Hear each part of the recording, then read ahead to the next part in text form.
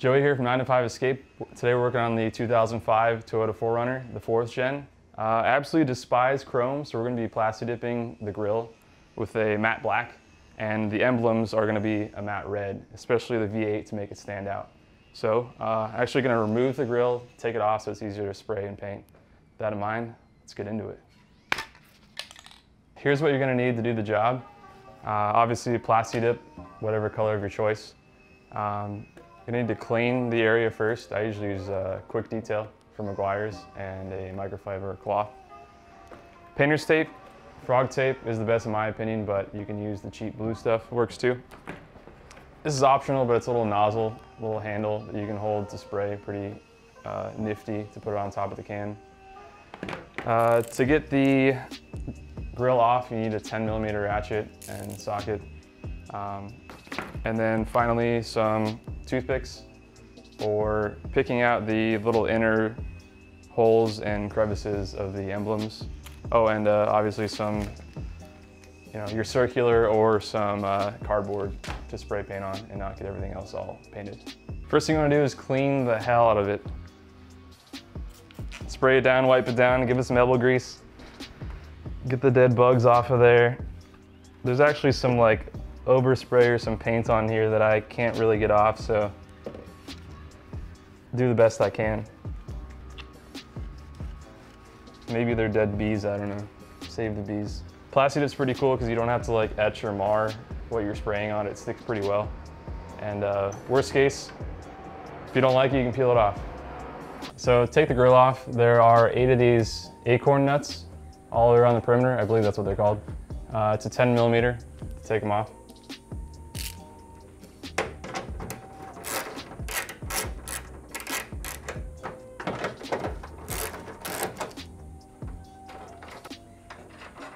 Don't drop them in your engine bay, that would suck.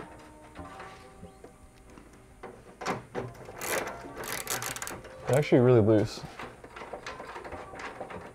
I think it's just plastic, so you definitely don't want to over tighten them when you put them back on.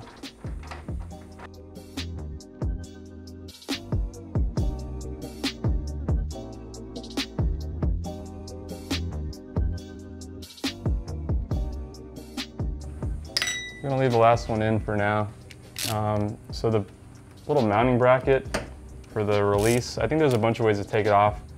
There's one back here, there's two over here, you can slide the rod off. I'm gonna take the two off in the front. It's another two 10 millimeter bolts. Uh, I left one of the acorn nuts on just so it doesn't fall off while I'm trying to take this off.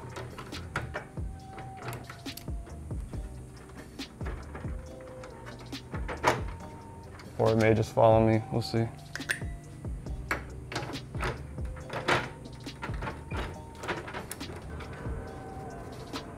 There it is, so it just swings down, out of your way. And the last one, oh wait, they're all out, I lied.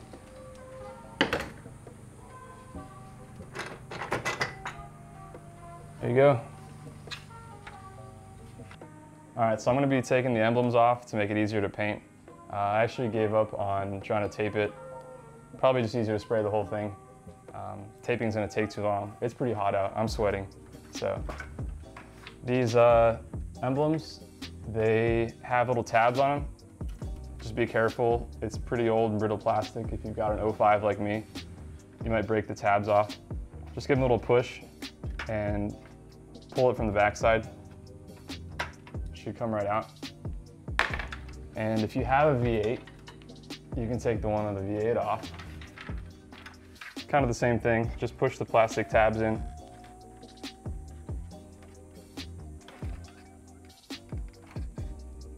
Maybe.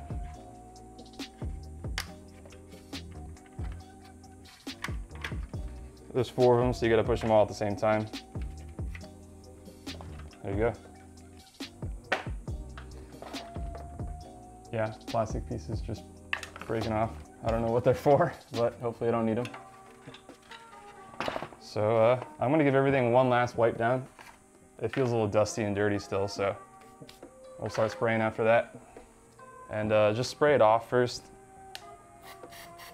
Make sure you get it all primed and ready. And just do nice even strokes. First coat's gonna be really light. There you go. Okay.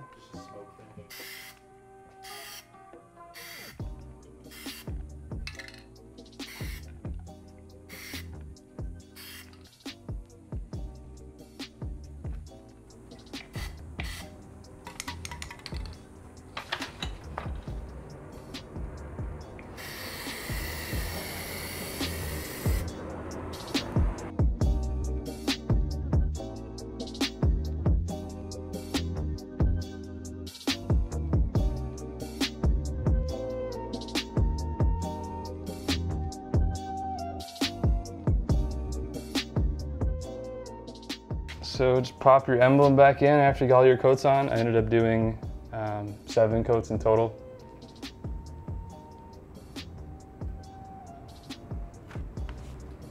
All right, bottom one first, then the top. Looks pretty good. So just peel off the areas that you don't want.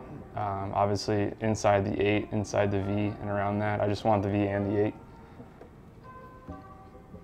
And the top, don't need that either. So just peel it off. So after you're all done dipping,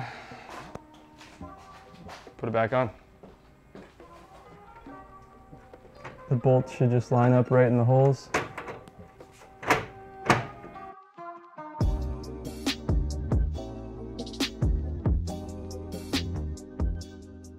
Tighten up a little bit with the ratchet. Don't go too crazy. Otherwise you're gonna break the plastic.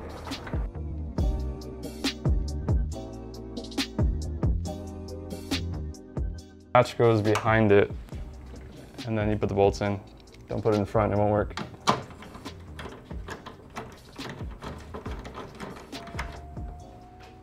Moment of truth. I think it looks pretty good.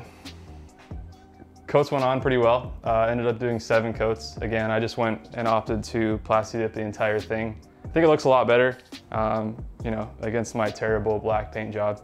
Uh, the Toyota emblem is pretty easy, but the V8 was a little tough to peel off the uh, in-betweeners, I'll call them. Had to use some tweezers and uh, some toothpicks to, to pry it out and pull it off. Again, big thanks to Chris, he helped out a lot. Check out his bumper plasti dip video on his fifth gen. It actually turned out pretty cool. If you guys found this video helpful, help us out by hitting that like button and the subscribe button. If you had any other questions or we didn't cover something, leave a comment down below. We're pretty good at answering those. If you want to check us out on our website, 9to5escape.org, or our Instagram handle, 9to5escape as well. Catch you guys next time.